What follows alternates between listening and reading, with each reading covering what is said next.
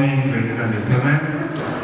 I play Persian classical music. The scale in Persian music called Dastgah.